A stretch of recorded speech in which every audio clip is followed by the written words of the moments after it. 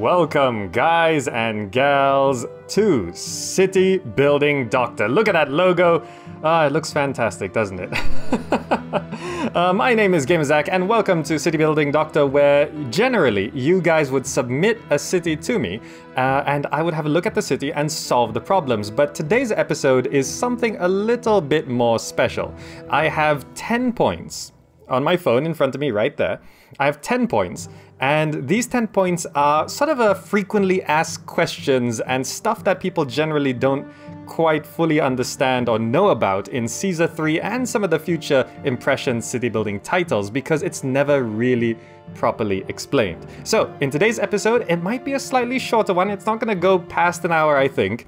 But we're gonna go through these 10 points, and these 10 points are a basic housing block, uh, climate and prefectures, employment and walkers, gatehouses, broken roads, getting and accepting on warehouses and granaries, destination walker, market ladies, and uh, the wheat priority thing. Thinking of your city as a system and the aging population. These 10 points are sort of never really talked about in in-game, and it's stuff that people are very confused about. So, first of all, let me load up uh, one of the sample cities I will be using today. It's submitted by Fede, Feed. I don't know how you pronounce that. um, but here we go. This is Fede's city or Feed city. Uh, so thank you so much for submitting the city. And uh, I'm going to be using some examples here and also uh, on on some uh, uh, some of the blank maps just to get things out of the way. So thank you so much for submitting this city. We will be coming back to this because first of all, I want to go over. I'm just gonna go to Valencia. I like Valencia, it's a nice map here. Gonna slow things down. And we're gonna cover the first point, which is the basic 9x9 housing block, which most of you should know about, but if you don't, uh, well, now you're gonna find out about it. So we're just gonna clear up some area here, right? And just so you know, if you're in chat right now, type out a question at GamerZakh and I'll, I'll, highlight and I should be able to see it. Today is not too much of a stressful stream. I'm not trying to save a city or anything. Uh, you can ask questions there. And if you're watching this on the YouTube VOD, just ask a question in the comment down below. And of course, you can continue the chat over at my Discord channel. There's a city building section where you can ask myself or other people there other city building enthusiasts uh, questions and for suggestions and advice and guides and stuff like that. Link to the Discord channel in the description down below. Anyway, point number one, the 9x9 housing block. Now, it's sort of important to know the 9x9 housing block. It's not the only way to build housing blocks, but it's sort of the, the most basic. And the reason why it's 9 by 9 is because it's sort of determined by the range of a fountain. So let me go ahead and draw a 9 by 9 block here. So I'm just going to go 1, 2, 3, 4, 5, 6, 7, 8, 9. And then we'll wrap that around. 1, 2, 3, 4, 5, 6, 7, 8, 9. So this, on the inside, where the houses are, this is 9 by 9. So technically the block goes up to uh, 9, 10, 11 by 11 with the road, and then if there's stuff around it, it's more, but the housing blocks in here, this is 9 by 9. And the reason why it's 9 by 9, we're just gonna speed this up so we get the people coming in, is because let's get a reservoir hooked up here. Uh, let's hook up this aqueduct, and we're gonna put down a fountain right in the middle, which is currently out of range, sometimes I do underestimate how close these need to be. I'm just gonna put it right there. Okay, so that should cover that, yep. So once people start moving in, where are they? Let's speed this along. So this is the standard 9 by 9 block. You can see there, if I turn on the water tab, the water range from a single fountain covers it perfectly. Now, just as a note, on desert maps, the range of a fountain is 7 by 7 so there is actually just a smaller variance of a 9 by 9 which is 1, 2, 3, 4, 5, 6, 7. I think that's right. 1, 2, 3, 4, 5, 6, 7. So that would be the 7 by 7 on desert maps, that would be the maximum range of a fountain. Now, you don't have to actually stick to this because you know, if you were, for example, to design a slightly oddly shaped block, let's say something a little bit more unorthodox, you can always just put multiple fountains. There's no no problem in, in doing something like that. I mean, you could just... There's fires, yes, don't worry about that. We'll let the people burn. You can just put as many fountains as you like, and you can make the block any shape you like. But the 9x9 is just sort of an efficient, simple block to have, and the 7x7 on desert maps, because you can fit quite a few people here, and even with services around the edge, you can have more houses and stuff like that, no problem. So it's just a nice block to have. Don't worry about the fires. Don't mind them. and that's just the, the 9x9 block as it stands. And it's something that you should know about. Regardless of whether you're going to use it or not, it's something you should know. Now, one interesting thing about this is having houses on the outside, which we will get to later when it comes to employment walkers. But that's point number one. Point number two. Uh, prefectures. Since all of this has burned down, quite often you'll see people in the comments saying, you don't need prefectures on this map, you don't have to place down prefectures, because prefectures uh, stop fires. Now, when it comes to fires, let's slow the game down again. Fires rely on the climate. So there's three different types of climates. So on Valencia, a map like this, fires are normal. If we look at the, the map here, these uh, these cities tend to be somewhere around the Mediterranean region here, uh, usually on this side in Italy or somewhere over here. These maps, which are placed in the middle, are sort of average weather. It's not too hot, not too cold. It's nice and and it, it's sort of you tell the difference by the color of the grass. You see, this is sort of a pale-ish light green. Now, if you were to move further north, so for example to Lugdunum, the famous map that people struggle with, you see the grass is much more rocky, much more dark, right? And if we look at the map here, we're in the northern territories. Now, on terrains and climates like this, fires do not happen. There is no chance of a fire breaking out at all, right? So why do you often see me placing prefectures anyway? Because prefects from prefectures do a number of things. They do put out and stop fires, but they also clear out those those rioters on the street. So if you don't want them there, prefects will clear those out. And then there's also they do actually help with invasion. So for example, if uh, let's say you had a bunch of prefectures over here and there's an invasion here, the prefects will actually go out and, and well, they'll fight those guys, uh, which can help in a cinch on, on tough military missions like Carthago uh, and stuff like that. And they also Here's something that you won't actually know about unless you, you've played through the campaign. There are gladiator riots. So on Valencia, on the previous map, there's actually gladiator riots. And uh, gladiator riots well, just send gladiators rampaging through your streets, and prefects uh, existing on your streets is actually one of the best ways to stop those gladiators, or at least delay them until your troops can get there to, to wipe them out. So sometimes it's useful having prefects anyway. But if you're trying to min-max, you don't have to have prefectures on maps with this color grass. Now, on the opposite end, let's say we go to Tarsus, this is a desert map. So not only are we gonna be using the 7 by 7 blocks here, if you're using a standard block, it's gonna be 7 by 7 instead of 9 by 9 because the fountain reach is shorter, uh, fires are more frequent. So in that block, uh, and many other places, you might want to put two prefectures instead of one. You double up because on desert maps, it's harder. So desert maps are generally considered more difficult because fountain range is less efficient and fires are more frequent. So that's point number two, climate and prefectures. Now, point number three. And again, any questions, put at GamerZakh in chat, and if I miss it, just ask it again. Um, point number three, employment and walkers. So this is something that a lot of people get confused on. Uh, let me just check. Uh, people move in. Do people move in from the red side or the blue side? Let me just double check this. I was get a little bit confused. Oh, they're coming in from here. Okay, so since we're on this map, let's go ahead and set up a 7 by 7 block here. So I'm just gonna put one, okay, let's see, one, two, three, four, five, six, seven. One, two, three, four, five, six, seven. So here's a 7 by 7 block, and we're gonna put down some houses here in a standard 7 by 7 block fashion.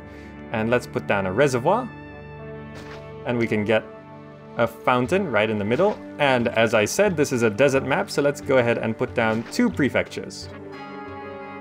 So, as you'll see here, if we check the water overlay, overlay, it's only 7 by 7 for the fountain. Now, one thing people have sort of wondered is, let's say you have industry over somewhere else. Let's say, well, let's just go to raw materials, timber yard. Let's say you got a bunch of timber yards over on this side. People often uh, not do this because, well, the houses are over there. So how are people going to come over this side to work on these timber yards? You know?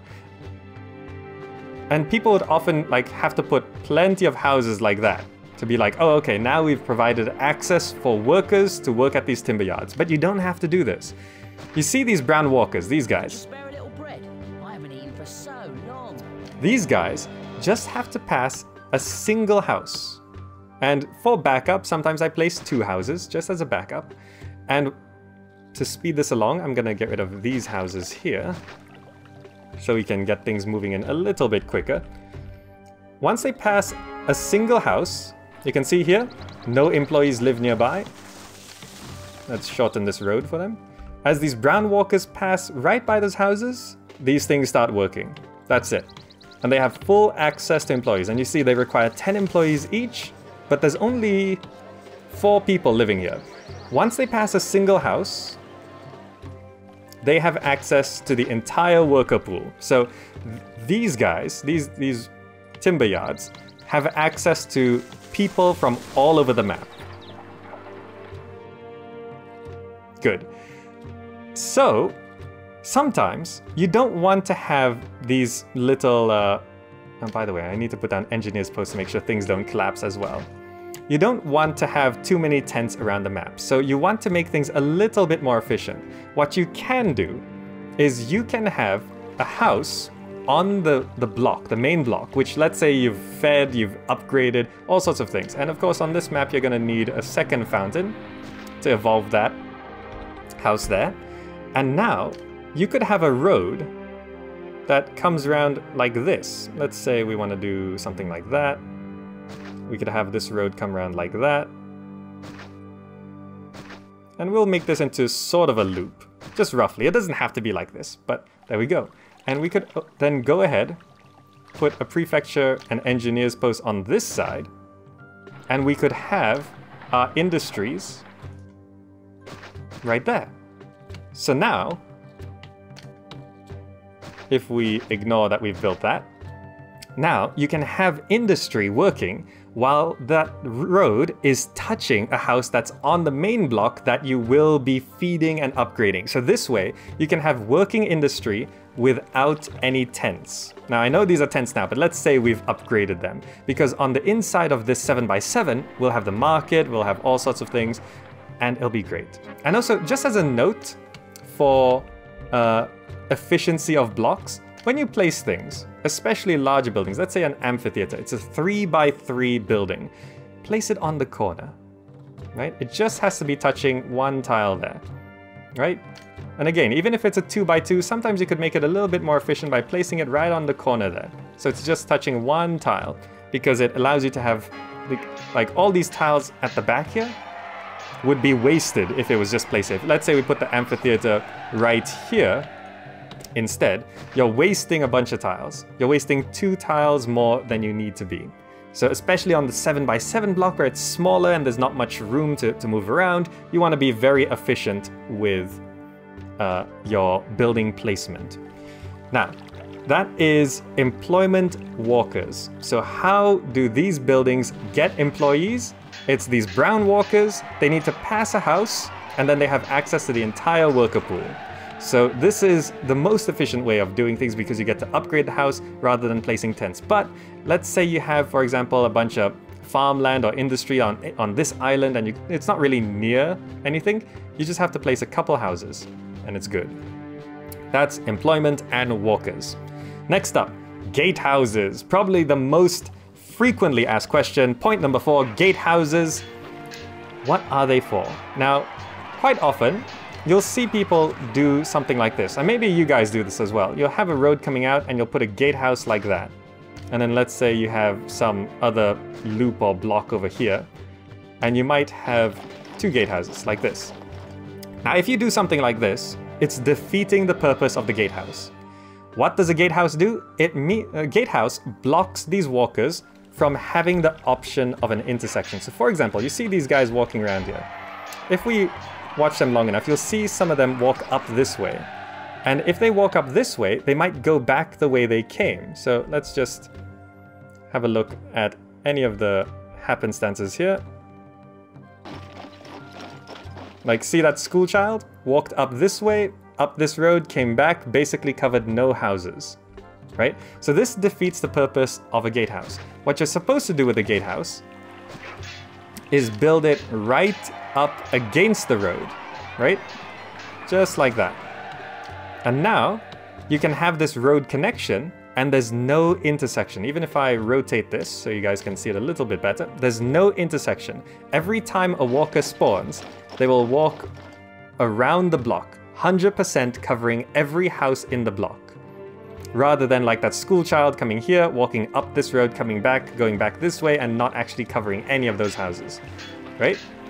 So again, if you had a second block over on this side, you'd want to put the gatehouse something like this, but this one I'm doing something slightly different, you'll see. See, the thing with gatehouses is by default, they come with these two roads next to them. And you could delete that road. But, strangely, if you rotate the map, the road comes back.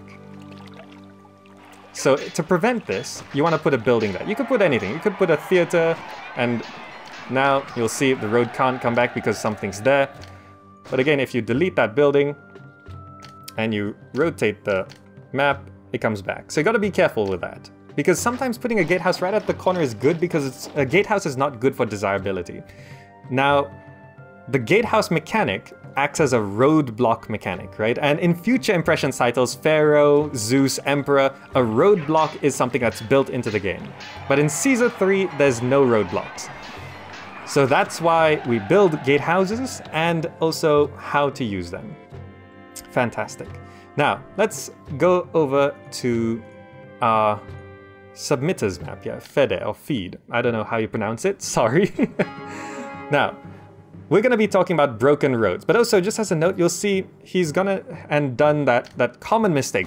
Lots, lots and lots of people do this. You see this road. There's a gatehouse there, but you know, uh, there's still an intersection, right? So, uh, and also just as a note, walkers that need to walk through the gatehouse can still walk through. So for example, a market lady with a destination, they can walk through gatehouses. We'll get to a bit more on destination walkers later, but if they if a walker has an objective somewhere specific they are walking to, they can walk through gatehouses. So immigrants, market ladies, um, um, uh, an actor going to a theater, things like that, those can walk through. But wandering walkers like priests and uh, prefects and stuff like that, people with no destinations can't pass through.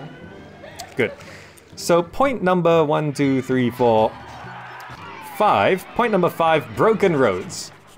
I'm gonna uh, just slow the game down here a little bit.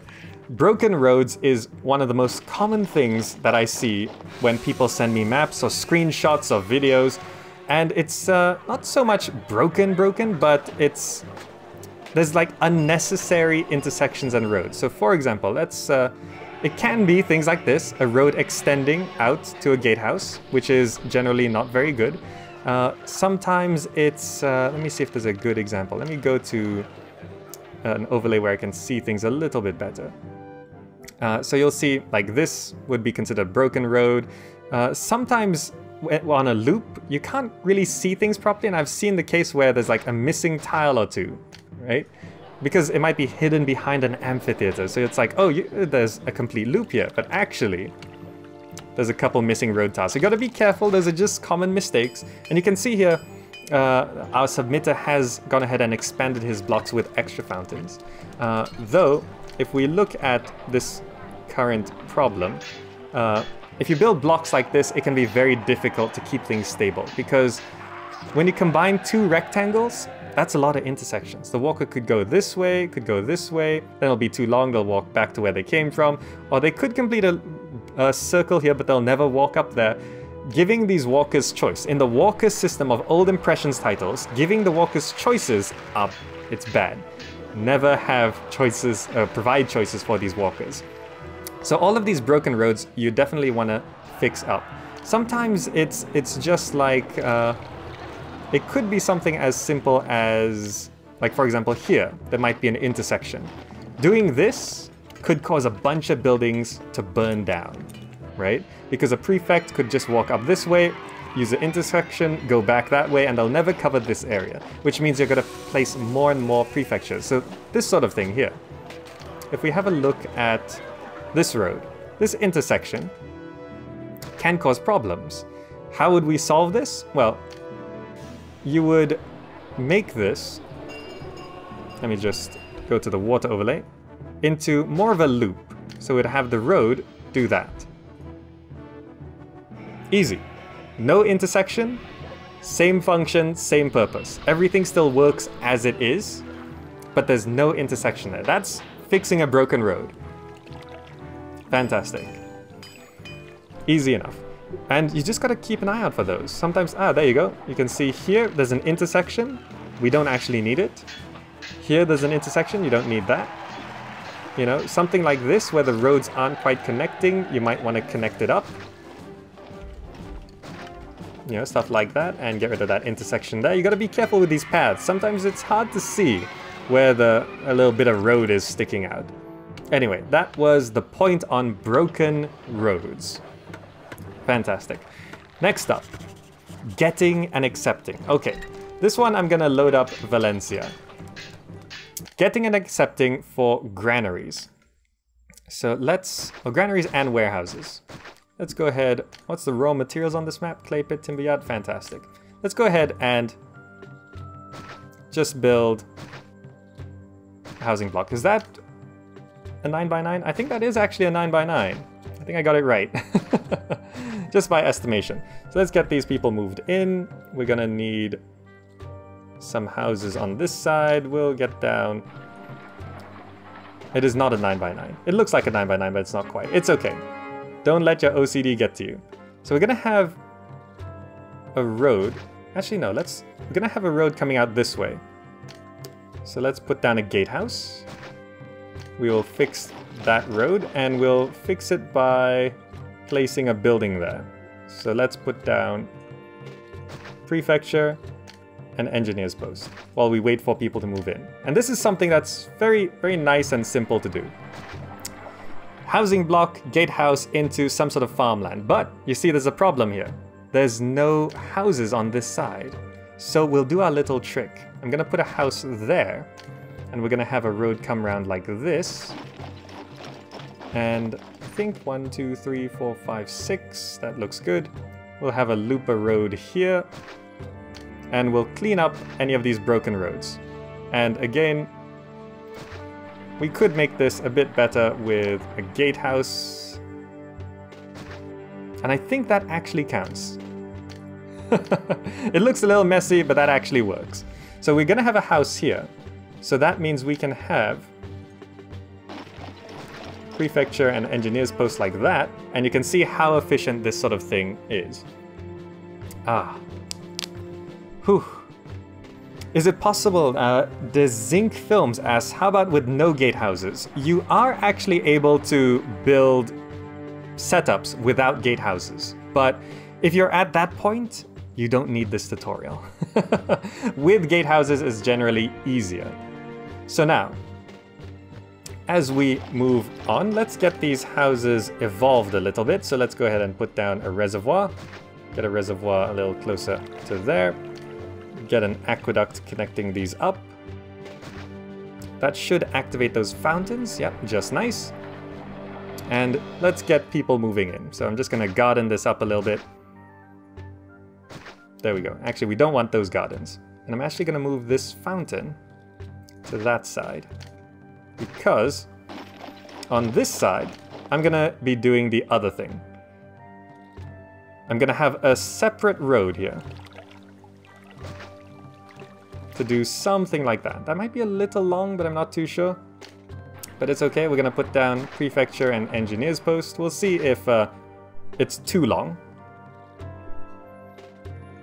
And meanwhile, we can actually go ahead and put down some farms. So I'm just to go ahead and put down a wheat farm and I'm going to put down a vegetable farm. I'm to have two granaries here. One here and one here. And this one is going to be set to just accepting vegetables. And this one is going to be set to accepting wheat. And here's a problem that's with Caesar specifically. Granaries actually have a road here, which means this is it just by default has intersections. It's not the best, it's, it's a little tricky to deal with, but because of those, you often want to have extra prefectures and engineers posts, because those intersections can mess things up. Okay. Uh, the stream is stuttering quite a bit, but uh, it's just, it's not on my end. I'm not dropping too many frames, but we'll just keep going for now. Anyway, we've got a bit of food being set up here, and you can see because of these intersections, employment can be a little difficult. So to stabilize employment here, I'm gonna put down two houses there, right? So because these brown walkers, what seems to be happening is they're actually getting lost in the intersections rather than passing these houses. So that's not very good. Anyway, it seems like this loop is not too big. And we're gonna set up another industry here. Clay pit. And I'm gonna go ahead and put down a couple pottery workshops. And a warehouse that's going to be accepting pottery and will not accept anything else. It's always good to have a single warehouse dedicated to a single resource. Now in Pharaoh and future iterations of the classic city builder, you can actually set it to accepting to quarter or accepting to half or accepting to three quarters. So you could actually have one warehouse set to accepting uh, uh, well, like half pottery, half furniture, which would be very good. And I'm also gonna go ahead and set up a timber yard. Can I fit this anywhere? Ah, I think if I just have this aqueduct do something else. I can go ahead and break this open. And I'm gonna put a timber yard right there. And I'm gonna have two workshops for furniture. And I'm gonna have another warehouse setting to just accepting furniture. Okay, that looks good. Food is starting to come in, people are moving in. Let's just make sure, are we dealing with... City is short by some employees, so I'm gonna go ahead and bring in more people. And we'll just have more fountains at the back there. You can see that when you hover, you can see how far the fountain is actually gonna reach. I think we just need to do that. People are disgruntled because I think the gods are irritated, so just to make sure we don't actually have to deal with any of these inconveniences, I'm gonna put down a temple to each god. There we go. And those will start working very quickly. Are we just short on people? Yeah. Unhappy people. Never mind. Now, I think we can just sort of make people happier by paying them more. Money is not really a, an, a concern here. So there we go. Are these actually... Yeah, these are actually hitting. Okay, so as you can see, resources are starting to come in. Now, getting and accepting are two very different things. Accepting means, let's say this farm has produced a bit of wheat and now needs somewhere to put it. It can put it in any granary or warehouse that's set to accepting or getting. It can put it in either one. Now, the main difference is accepting just sort of receives the resource, right? It just sort of accepts it, right? Not that it's self-explanatory, it accepts it. But you can set it to getting food, right? Getting is something that's slightly different. If I were to, for example, put a granary here, if I set this to accepting wheat, it will never get the wheat, right? Because this wheat is all just going straight into this granary, it's not gonna come here. If I were to, same with the vegetables, let's say I set this to getting vegetables instead, right? So this granary is now gonna send out a cart pusher. You see this guy here? And he grabs the vegetables and he brings it to this granary. Look at that. And now the vegetables are over here and not there. Nice, right? It's nice. And as this farm continues to fill here, this granary will continue to get that. Looks good? Looks good. Now people are still moving out of my city, so I'm just going to prioritize that. So our industry is actually working at full capacity here because I want to get the next bit set up. And I just need one unit of pottery to come in here. Okay, there we go. This warehouse now has one unit of pottery.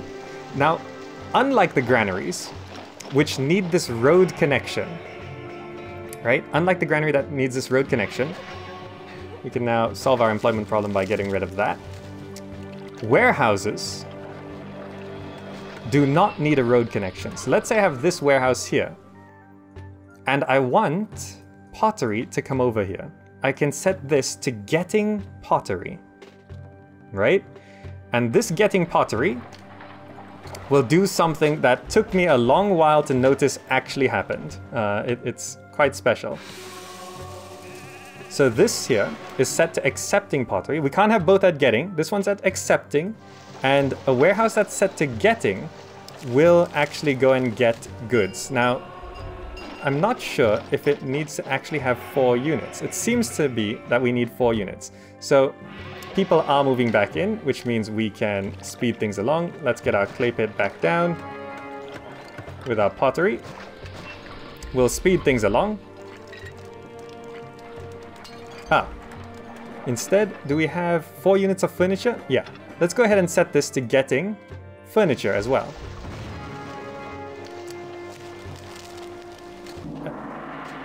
And it seems... There we go. There's furniture here now. It sent a cart pusher out and got furniture from here and brought it back to here. And you can see there is no road connection between these. Now, when something is set to, when a warehouse is set to getting, it will get up to 800 units, which is two, well, eight units sort of uh, there, which is a quarter of the warehouse. So you could actually set something like this. Let's say you want oil, wine. You could have this. You can have a warehouse going out and getting four resources to fill it evenly. 800 units each, but it takes time for the for the cart pusher to walk over there and get it, so usually I don't like having more than two. And quite often I would have just one warehouse set to getting just one resource. Good, good. So granaries need road access between granaries to get. Warehouses, warehouses do not. So you can do something like this, where the resources are separate. Now, why would you want to have your resources separated by a road? Well, um, it's because of the market, ladies. if I were to put down a market here, let's say I wanted this market to buy furniture but not pottery. Now, there's not really any reason why you'd do that. You'd want to prioritize pottery, but let's say you want this market lady to buy furniture but not pottery. Well, furniture and pottery are over here. The market lady has no way of getting these resources. But she now has a way of getting furniture. So, in this case, we've separated this so the market ladies will buy what we want them to buy. Now, in future iterations of classic city builders, again in Pharaoh and onwards, you can set markets to what they want to buy. When you right click a market, you can say, okay, buy this, buy this, don't buy this, don't buy this right? It becomes much easier. But in Caesar 3, it's more complicated. So this way, with the getting warehouse, we can now go and get the resource we want this market to buy without the market lady saying, hey, these houses need pottery. So I'm just gonna walk down all the way over here and get the pottery and bring it back. Which not only means, let's say this pottery was over here. Or for example, we set up a pottery industry over here. If there was a road connection from this market to this coast, the market lady will actually walk all the way over there to get the resource. And during the time that, that one market lady is out getting a resource, the resources in the market runs out, and it takes so long for the market lady to come back that these houses start devolving because they can't, uh, they don't get the resources. Now, if I load up Fede's map here, let's slow things down, a unique issue is happening. If we look here, these markets have almost no resources. So there's pottery, but there's no food, right? Why is there no food here? Look at this. There's a granary filled with meat. Right? These market ladies behave very, very weirdly. So, first of all, if we go to the commerce and food stocks, we get to watch this market lady. What is this market lady coming back with? I'm taking this. I've got no. Oh, She's coming back with wheat. So right? And market. she's coming back with just a bit of wheat. If we actually watch this market lady come back home, the wheat's almost immediately spent out because it's gone to one of these houses, which the, there we go. The meat's gone into there, 100 wheat. That's it. Right? She walked far, far away to get wheat. Now, look at this. Where's she going again? Let's speed things along. Is she gonna go get the fish or any other important resource because this market is now empty? No. Where's she going? She's coming down this way. Okay. She's coming all the way down this way, walking far, far away. And where's she going?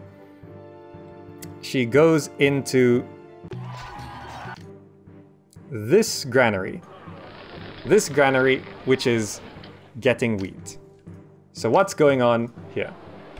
Well, first of all, there's this weird thing in Caesar 3 where if there are multiple types of food available, they're all considered equal except for wheat. Wheat is a priority, right? So market ladies will go and buy wheat above everything else. It doesn't matter whether these granaries are filled with to the brim with fish.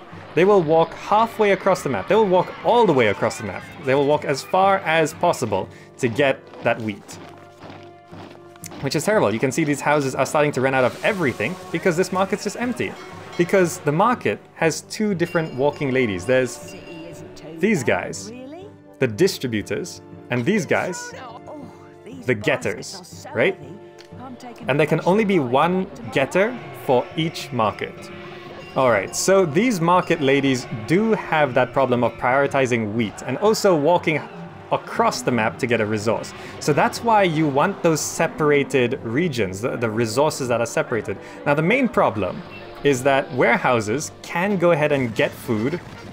Warehouses can go ahead and get food um, without a road connection, but granaries cannot. So for example, in this particular setup on our submitters map here, uh, to get building the villas here is not a good idea because although we are importing wheat, to bring the food in. Fish needs a road connection to a granary or it needs its own way of getting food. So that's something you have to keep in mind when building a villa area. How is the food going to get there? And quite often what you would do is you would have the villa area over on this right side here and you'd have a separated you'd have a separated section producing fish just for the villa area, and you would have these warehouses on getting resources to bring it in. And that pretty much covers getting and accepting, right? Accepting just allows resources to come in, getting is something else. And in this particular case, getting food here is sometimes quite difficult. Let's say you have all this, th these food production facilities here. To get food down here, these guys have to walk all the way down here and sometimes it's so far that by the time they walk here and back, the, the fishing wharf is ready to produce food again. So what you would often do is put a granary near the fishing wharfs set to accepting meat and setting these to getting meat. And that means these would put food into here and this granary will go and get 800 units of, oh, it'll get, it'll, until it fills up actually, it'll get all the meat from here and bring it over here. And the cart pusher here can be much more efficient than the individual cart pushers from the fishing wharves because the individual cart pushers from the fishing wharves just carry a hundred fish, whereas the cart pusher here carries a lot more than that. And then you could, for example, just place as many granaries as you like, all in the center here, all set to getting fish. Something like this. Now don't follow this example exactly, I'm just giving an example. So now we have five granaries here, all set to getting fish, and getting, they can't get from other granaries set to getting. So all five of these are now going down this way, grabbing the fish from this granary and bringing it back up here. So all these fishing wharves can just continually dumping the fish into this single granary and bringing it all here. And there's no limit to, to this system. The more granaries, the more it moves. Perfect. Now, on to the next point. Uh, Destination Walker. Destination Walker is something that's a little bit interesting. I'm gonna go ahead and load up a, uh, another map here. Let's go over to Lugdunum. Actually, no, let's go back to Valencia. It's just a nice map to work with. So, Destination Walker is something that's quite interesting. Let's say we have two sections of houses. We're gonna have houses there, we're gonna have houses there, and they're split by a gatehouse. And let's have these people move in. So we have two sections of houses. Now let's say we want to provide entertainment. So we're gonna put down an actor colony and a theater. So now we have an actor colony and a theater providing entertainment to this area.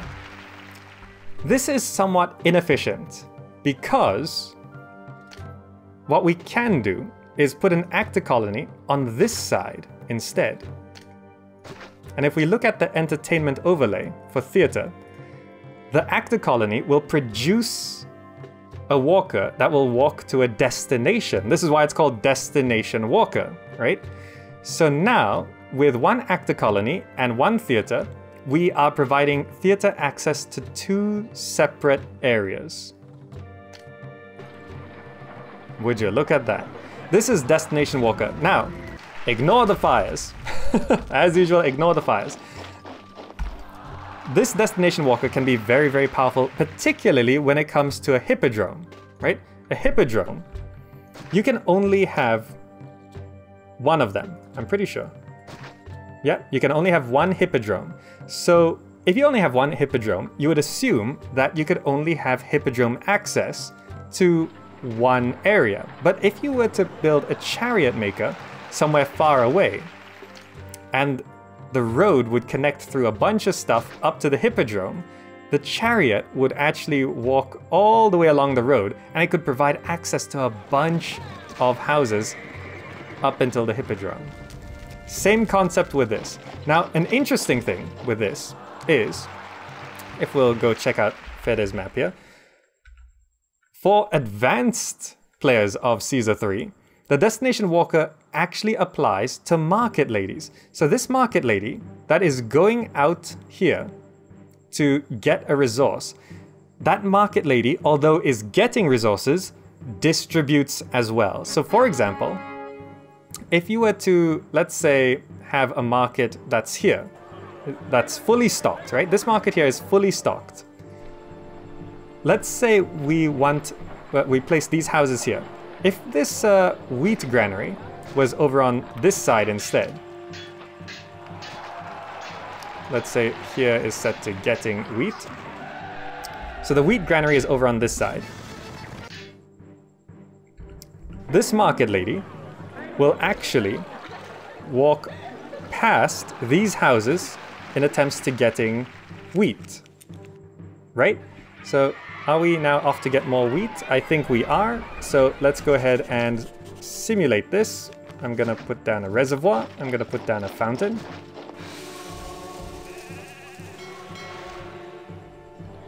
Does that have access? I think it should. There we go. So these houses evolve. Now where'd that market lady go? There we go. This market lady is walking by here. And it seems to be a little bit problematic. Come on, those... There we go. It's provided food to this area here. So if we speed this along, we could actually evolve these houses quite significantly. There we go, we've evolved it a little bit more. We could put down a theater. Now again, we don't need an actor colony, we just need a, an actor to come around this way. There we go, what else do they need? Basic educational facilities, so we can put down a school. Let's get a school going. And there we go. And the market lady is going to come by this way again, and she's now carrying pottery. So we should be able to provide pottery to this side as well. Or, there we go. Needs access to a local bathhouse. Let's go ahead and provide bathhouse access. It's just, oh, that's out of range. So let's place it there instead.